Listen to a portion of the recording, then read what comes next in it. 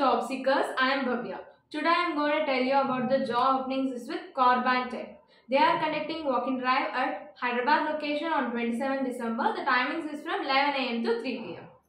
They are hiring freshers for the role SAP Fiori, SAP ABAP and web developer. The required experience is 0 to 1 year.